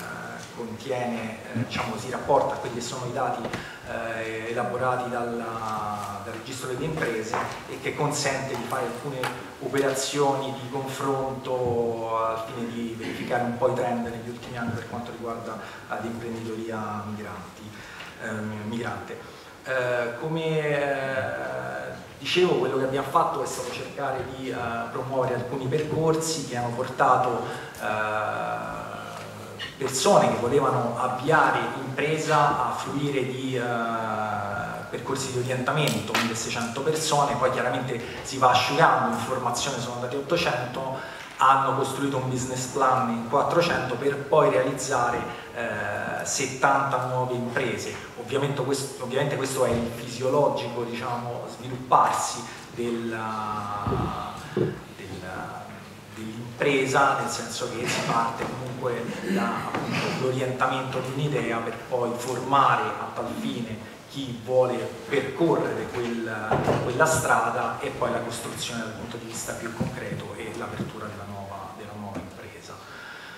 Dicevo prima, eh, persone dietro a questi numeri, chiaramente ci sono poi persone che hanno realizzato eh, diverse iniziative eh, da imprese nell'ambito della ristorazione di orghe alla, a un atelier in, nella zona del, di, di, Bari da parte di eh, Ndieie e eh, per quanto riguarda eh, Vittoria l'apertura di una toletta per, per cani. Eh, quindi niente, vi, vi, ringrazio ancora per, eh, per, gli spunti che avete fornito nel, nel rapporto e vi auguro buon lavoro. Grazie. Nei dati che ha messo in evidenza sui minori stranieri non accompagnati a proposito di persone, quel 12% della Lombardia fa venire in mente Milano dove il problema dei minori stranieri non accompagnati in strada è molto forte ed è forte anche nel carcere, visto che poi ci sono state diverse, diverse ribellioni, oggi la popolazione carceraria minorile è fatta soprattutto da queste persone e fa vedere che c'è un disagio e un malessere che non viene affrontato. Il rapporto parla bene anche chiarisce sempre ogni anno il tema della sicurezza a proposito delle narrazioni distorte. E certo c'è una popolazione carceraria rilevante che non è nata in Italia ma i, i reati sono quelli esattamente che commette la maggior parte della popolazione carceraria italiana, cioè reati contro il patrimonio e spaccio di stupefacenti, quindi è una situazione comune anche in questo e non diciamo particolarmente allarmante. Veniamo all'ultima testimonianza, come era stato preannunciato già eh, seduta eh, con noi eh, Stefania Combo Cosè Teresa che rappresenta l'Unaria e segnatamente l'area migrazioni e antirazzismo. A te la parola. Allora, intanto grazie mille, in particolar modo per il lavoro che è stato fatto su questo rapporto perché è molto importante. È importante perché abbiamo visto anche negli interventi che, hanno, che mi hanno preceduta, eh, abbiamo visto tanti dati, abbiamo visto quanto anche attraverso, è vero, forse dei numeri che possono sembrare freddi, ma danno effettivamente la, la quantificazione di un fenomeno che è complesso. Il magnifico rettore giustamente prima lo definiva come strutturale e aggiungiamo come questo fenomeno strutturale purtroppo sia, come anche ha giustamente detto il dottor Varisco, narrato in maniera molto molto semplicistica. Ecco, nella mia testimonianza, come potete vedere, non, non ho slide, non utilizzerò eh, dati, cercherò quindi di utilizzare tutto attraverso la voce e un pezzo della, della mia vita che è anche fatta di attivismo. Ecco, quando noi parliamo di cittadinanza, perché io ho parlato di cittadinanza in un qualche modo nel, nella testimonianza che leggerete nel, nel rapporto, però l'ho fatto in una maniera un po' diversa rispetto a come di solito viene narrata. Quando si parla di cittadinanza noi pensiamo prima di tutto eh, o all'acquisizione di cittadinanza tramite i cosiddetti ius, ius odius o ius cole, eccetera. Parliamo di naturalizzazione, parliamo di tante cose e spesso parliamo dello sbarramento per l'acquisizione della cittadinanza che è dato principalmente dalla burocrazia. Poco si parla invece di un'altra soglia di sbarramento molto invisibile per sentirsi cittadini e cittadine, che è quella della narrazione. Ed ecco, è molto difficile sentirsi cittadini e cittadine in un contesto in cui narra non solo la propria persona, ma i genitori, i fratelli, amici, come criminali, stupratori, spacciatori, come persone in un qualche modo che non devono far parte della società e noi sappiamo come in generale c'è una narrazione proprio per tutti i crimini che va già di per sé a criminalizzare, a stigmatizzare la persona. Immaginiamo poi se questa persona ha un background migratorio, quindi non parlo solamente delle persone migranti ma parlo anche delle persone nate qua in Italia, figli e figlie di migranti che comunque subiscono questo stigma. Ecco, se c'è solo un'immagine della persona migrante, indipendentemente che questa sia italiana con o senza cittadinanza, come ci si può sentire cittadini e cittadine?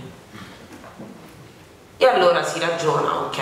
diamo per assodato che non siamo cittadini e cittadine italiane, indipendentemente da quello che sta nel documento, allora definiamoci come persone straniere o persone migranti. Come vengono narrate? Le loro storie vengono raccontate. È da quando c'è stato il grandissimo sbarco che penso di immagine la ricordiamo tutti e tutte, eh, di questa nave gigante piena di tante persone che arrivavano dall'Albania. È da quel momento in cui la narrazione migratoria è solamente fatta di una massa di persone, senza volti, quindi significa che la narrazione della migrazione non ha la possibilità di avere una storia delle singole persone, è sempre una storia di massa e le storie di masse purtroppo fanno sì che è facile fare, come si suol dire, di tutta l'erba un fascio. Ecco, partendo da questa, da questa diciamo, visione, da questa premessa, io inizio questo, questa testimonianza partendo da un piccolo eh, spaccato della mia vita infantile perché i luoghi della formazione non sono anche solo luoghi in cui in maniera formale si può imparare dai libri che sono importantissimi ciò che è la migrazione, ciò che sono le persone, come relazionarsi, ma si impara principalmente la relazione stessa anche col mondo esterno. E le narrazioni che vengono fatti dai media, che vengono poi assorbiti dai nostri genitori e poi dagli insegnanti, diventano materia di discussione dei giovani e delle giovani. A me è successo a otto anni, quando era da un po' di tempo che c'era la Bossi Fini e si è iniziato a parlare moltissimo di clandestinità. E anche con il mio compagnuccio di, di banco stavamo parlando tra di noi su quello che dicevano i nostri genitori, cosa ne pensano i tuoi, di, di queste persone che arrivano, cosa ne pensano, ma, ma, tu sai cosa vuol dire clandestino? Io ho detto, guarda, io non lo so, io credo di essere clandestina, in qualche modo. Ovviamente non era così, a otto anni va bene che avevo già firmato un po' di carte per i permessi di soggiorno che è la prima cosa che fanno i figli e figlie di migranti appena imparano a scrivere ovvero la burocrazia siamo come dire, una soft skill che forse dovremmo iniziare a mettere nel curriculum. Però ecco, eh, non avevo la coscienza di cosa significasse davvero clandestino o clandestina, ma già da otto anni avevo la coscienza di non essere parte della società, eventualmente, di poter essere soggetta a criminalizzazione. Ed era un, con, un contesto in realtà molto piccolo, non è il contesto della capitale in cui purtroppo già eh, attraversandolo da adulto ho visto che è un fenomeno in realtà più diffuso rispetto a un centro piccolo come possono essere le province del centro Lazio. Ecco, da questo punto di vista è importante ripartire da questo concetto, da come le narrazioni vengono assorbite, da come le persone iniziano a sentirsi perché come hanno concluso tutti gli interventi che mi hanno preceduta, dietro questi dati, questi numeri, che grazie per il lavoro immenso che avete fatto, ci sono però anche queste storie. E non tutte le storie sono come quella che io riporto, fatte di attivismo e consapevolezza, perché delle volte è anche molto difficile fare rete e capire gli strumenti che si hanno, i diritti che si hanno per poter portare avanti la propria voce. Questo è il lavoro che le organizzazioni eh, fanno da tempo proprio per cercare di socializzare le cose che noi possiamo fare insieme. I rapporti esistono anche per questo, per avere una testimonianza scritta di una storia che non è fatta semplicemente di rivendicazione della propria dignità individuale, della propria storia, ma una rivendicazione collettiva di diritti che dobbiamo avere in maniera collettiva che passano dall'avere un permesso di soggiorno a riconoscersi la propria cittadinanza e sentirsi cittadini e cittadine nonostante il pezzo di carta. E quindi brevemente cercherò di chiudere partendo proprio da dall'importanza di questo immaginario che è ancora tutto da costruire. Abbiamo citato, ed è bello che si parli molto della musica hip hop di cui sono fan nonostante forse non sia più considerata così giovane da offerte, bandi e, e cose varie però è proprio, penso che quel movimento culturale che si sta creando dia la possibilità di far sì che le persone, figli e figlie di migranti, ma anche giovani e giovani persone migranti possono vedersi in un testo, possono vedersi in un film, possono vedersi nella letteratura, nella fumattistica e vedersi rappresentati e rappresentate, che è una cosa che quando ero giovane io non succedeva e che questa è una cosa che dobbiamo difendere. Dobbiamo difendere il diritto alla fantasia delle persone più giovani di potersi sentire rappresentati senza essere necessariamente criminali. E questo passa dall'importanza dei, dei, momenti non formali dei luoghi della formazione, ma passa anche per la responsabilità di noi persone adulte nel lavoro che facciamo, che può essere come nel mio caso un lavoro di comunicazione, un lavoro di formazione, un lavoro di informazione, ma si tratta sostanzialmente di costruire costantemente una serie di reti che riescano a tutelare effettivamente il futuro di una comunità che noi non vogliamo che sia chiaramente identitaria come molto spesso ci viene raccontata, ma che sia polifonica, policolore e con tanti tanti punti di vista e questa è la cosa che dobbiamo difendere perché è dall'incontro e dallo scontro o dalla dialettica per così dire che poi si possono creare effettivamente dei veri cambiamenti. Grazie.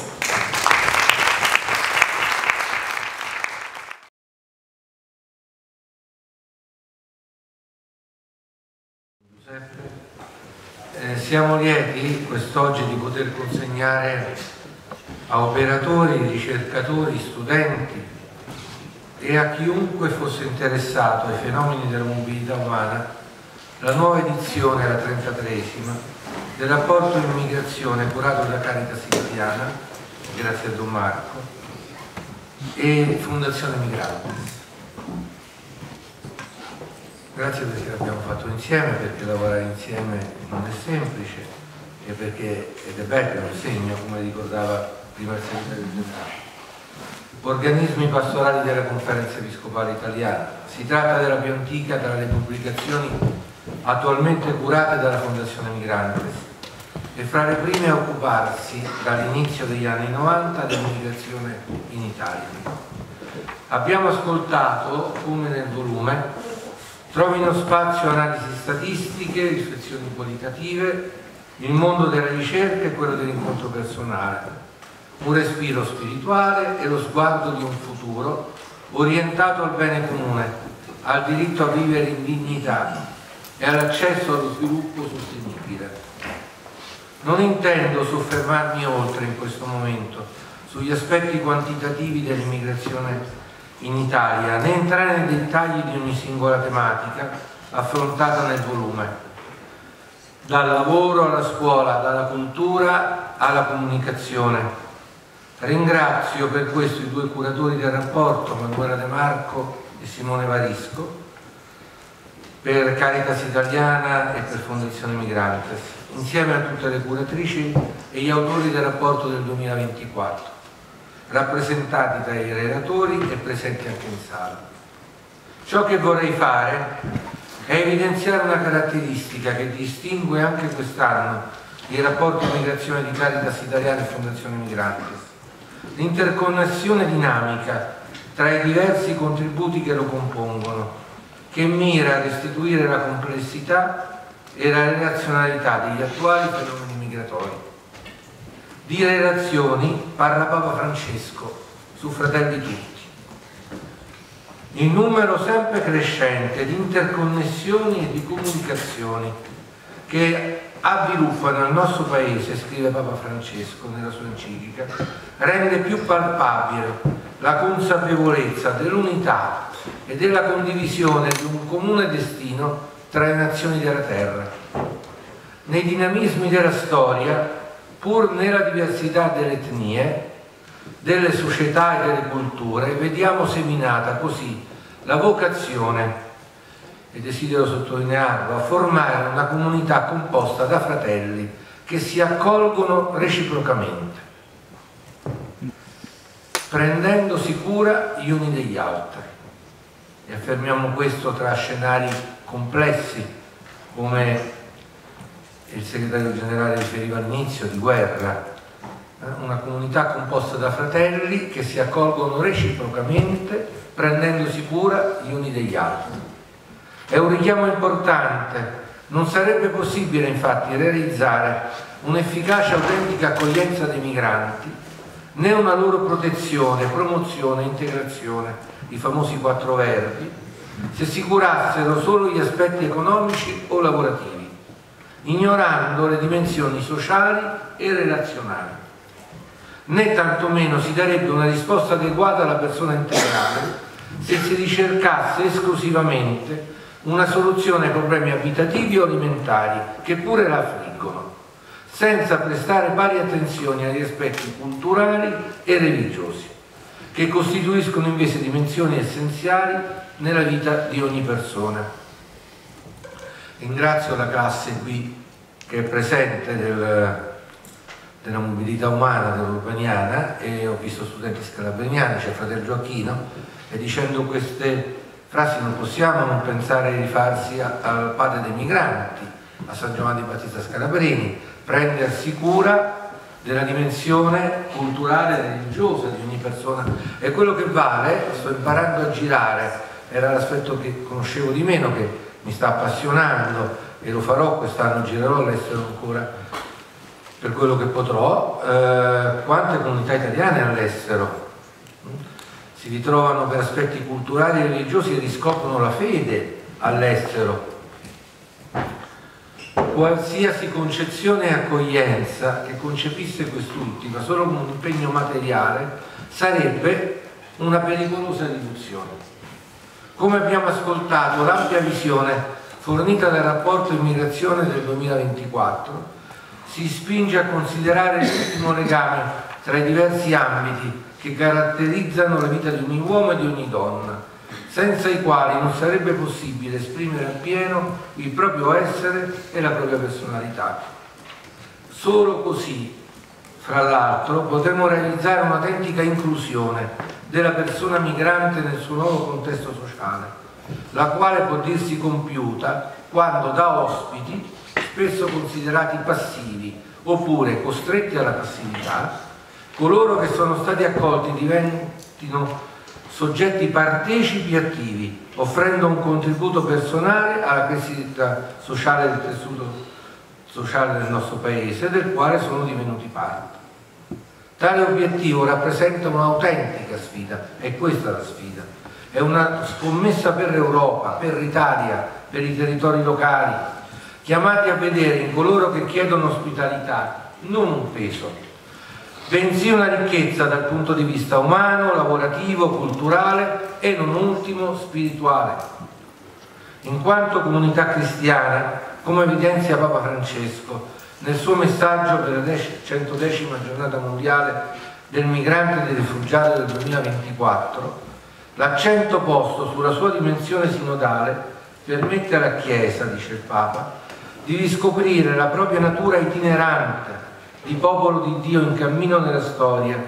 peregrinante, diremmo migrante, verso il regno dei cieli.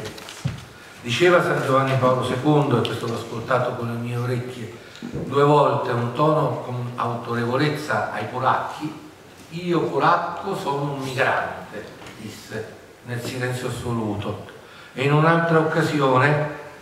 siamo tutti migranti, disse San Giovanni Paolo II, pellegrini ma non randagi, la nostra meta è il paradiso. È il regno dei cieli, come, si, come ha detto quest'anno il messaggio della giornata mondiale. Ancora il Santo Padre, Papa Francesco, sottolinea come sia possibile vedere nei migranti del nostro tempo, come in quelli di ogni epoca, un'immagine viva, viva del popolo di Dio in cammino verso la patria eterna. E anche il tema scelto dal rapporto Immigrazione 2024, Popolo in cammino. Siamo ben consapevoli, e concludo, che quando il prossimo è una persona migrante si aggiungono sfide complesse, come è scritto con franchezza e realismo nella Fratelli Tutti. È altrettanto evidente però come uno sguardo interessato a conoscere l'altro, a incontrarlo, pur con tutte le difficoltà e gli ostacoli che questo implica, dia vita a una prospettiva lontana dall'opinione diffusa a più livelli che vede nel migrante soltanto un'insidia e nell'opera di coloro che lo accompagnano un pericolo. Si tratta di sentimenti contrari alla vita cristiana, che nella fede ci spinge invece a avere il coraggio di riconoscere nell'altro un fratello e nel più piccolo di essi il Cristo stesso. La fragilità non caratterizza soltanto gli altri, ma ognuno di noi, a partire da me. Ognuno di noi può essere quel piccolo. Grazie a tutti.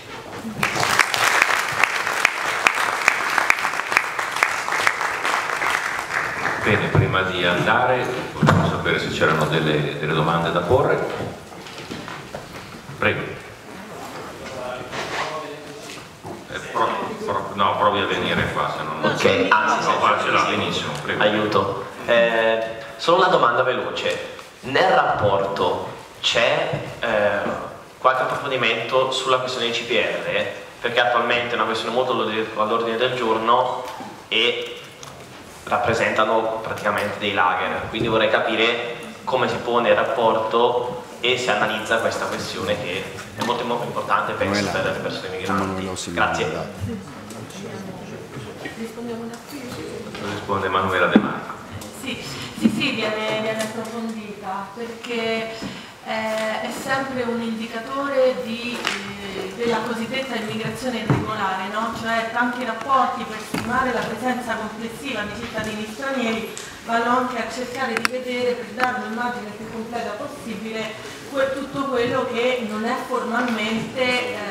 che, che, che, che, non ha, quei cittadini che non hanno un permesso di soggiorno regolare. Quindi naturalmente per avere degli indicatori attendibili utilizziamo anche ehm, le, eh, tutti i provvedimenti di, di, allontanamento dal territorio italiano o di trattenimento nei CPR che eh, la polizia, il Dipartimento di Polizia realizza alle frontiere o sul territorio italiano e lo trattiamo sempre come dato e sempre mettiamo in evidenza anche quest'anno come appunto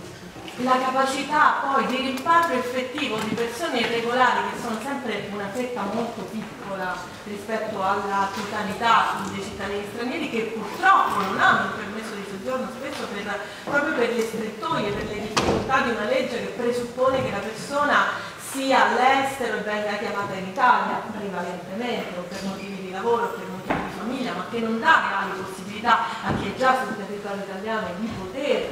eh, legalizzare in qualche modo la sua presenza, a meno che non passi dal canale dei vasili, eccetera, sono altre storie dietro.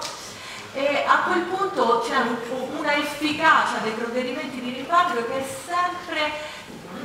oscilla tra il 55 e il 60 il 45% del totale dei provvedimenti, cioè non si riesce a rimandare indietro effettivamente queste persone, quindi si mantiene in vita un apparato, un sistema molto costoso, molto dispendioso, spesso anche la Corte dei Conti, quindi non è una valutazione mia personale, ma in vari rapporti ha ribadito la necessità forse di andare a tagliare proprio su spese che poi non sono efficaci da un punto di vista neanche economico, oltre che essere diciamo, lesive poi anche del anche della dignità della persona. Tra l'altro eh, diamo conto di due rapporti che sono usciti quest'anno proprio sulle condizioni di trattenimento dei migranti nei centri, tutte e due eh, una era una commissione mista a cui hanno partecipato anche dei parlamentari oltre che esponenti della società civile e una è un rapporto di Amnesty che è andato proprio a monitorare le condizioni di vita di questi centri e lo riportiamo nel rapporto, un ulteriore motivo per dire oltre a essere inefficaci sono piuttosto uh, degradanti. Aggiungo solo un dato, se vogliamo editoriale, è stato ricordato prima dal direttore generale Pierpaolo, eh, il rapporto immigrazione è più, la più antica diciamo, delle pubblicazioni seguite dalla Fondazione Migrantes, non è l'unica rispetto ai CPR, rispetto anche al tema della, dei richiedenti asilo, rifugiati eccetera, segnalo un rapporto che verrà presentato in dicembre dove eh, c'è un approfondimento specifico proprio su tutta la parte dei richiedenti asilo e dell'asilo, appunto, seguito da una collega eh, della Fondazione Migrante Cristina Morfetta, quindi anche lì ci sarà un ulteriore approfondimento. Altre domande?